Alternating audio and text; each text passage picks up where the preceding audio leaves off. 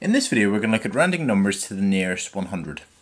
So here's a typical question, round 723 to the nearest 100. So if this was 700 and this was 800, then in the middle would be 750.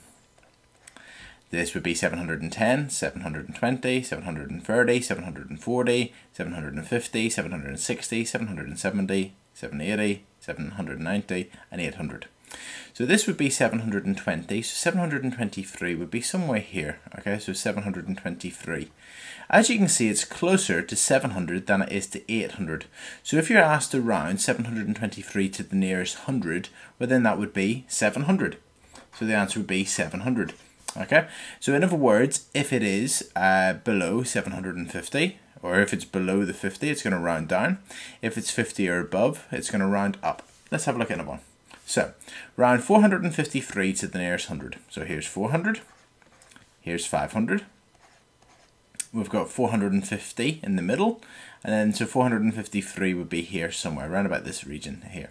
Okay, so it's going to be closer to 500.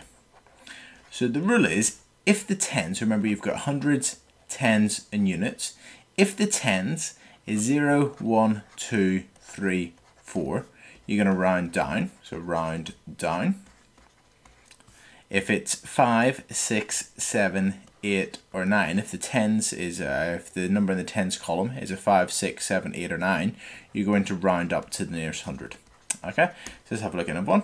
So we've got 850, uh, so we've got here 800, here 900 this time 850 is exactly in the middle okay so exactly in the middle. Um, if it's in the middle the common practice is to round it up. So it's going to round up to 900 okay? And as I said previously if the number in the middle is a 5 you round up because it's 800 and or if, the number in the tens column the number in the tens column is a 5, you round up. So here we've got 850, the number in the tens column is a 5, so you round up to 900. Let's have a look at some questions. So 187, so the number in the tens column is an 8, so we're going to round up, so it's going to round up to 200. Okay, 746, the number in the tens column is a 4, so we're going to round down, so 700. 1537, we've got thousands, hundreds, tens and units. So in the tens column, we've got a 3, so we're going to round down. So 1,500 to the nearest 100. If we were to round 2,680 to the nearest 100, we look in the tens column, we've got an 8, so we're going to round up, so it's going to be 2,700. This time we've got 82, so the number in the tens column is an 8, so we're going to round up, so it'd be 100. And finally, 8,150, because in the tens column we've got a 5, we're going to round up, so it's going to be 8,200. So this time we've been asked to round 449.8 to the nearest 100. So we would have 400 is 100 below, and 500 is 100 above and we would have 450 in the middle and this would be 410 20 30 40 50 60 70 80 90 500 okay so 449.8 would be just to the left of the middle here 449.8 so that means that it's closer to 400 than it is to 500 so rounding it would be or the answer would be 400 now again, we just look at the tens column. If you want to round to the nearest hundred, you look in the tens column.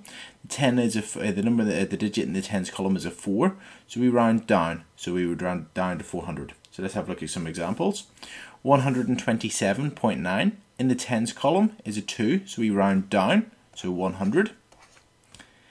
786.126 in the tens column is an 8, so we round up, so we get 800.